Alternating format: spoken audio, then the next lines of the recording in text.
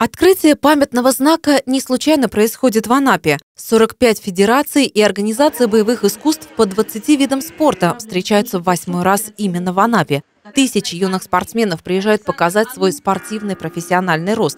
В годовщину Великой Победы вспомнить о спортсменах, отдавших жизнь за Родину по первому требованию – дело чести. Мы отдаем дань всем нашим воинам-спортсменам, а, которые погибли, защищая нашу Родину.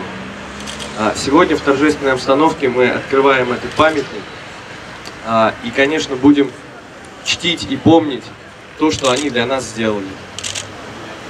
Ушедших в бою почтили минутой молчания. Олимпийские чемпионы разных лет признались, что именно с легендарных бойцов они брали пример.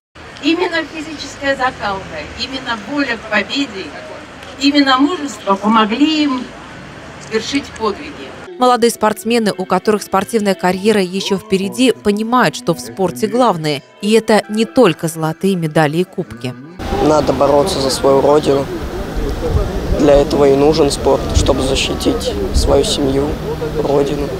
Сразу после открытия памятного камня стартовал автопробег к 70-летию Победы с участием олимпийских чемпионов. Конечной его точкой станет столица Республики Крым – Симферополь.